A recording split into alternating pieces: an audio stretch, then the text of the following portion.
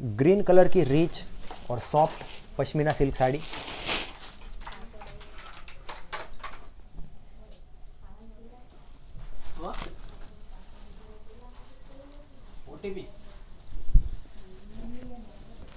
ये आप देख सकते हो इसका पल्लू प्रिंटेड पल्लू है और साथ में फॉइल प्रिंटेड वर्क है आप देख सकते हो। बहुत ही अट्रैक्टिव लग रहा है फाइन फिनिश पल्लू है।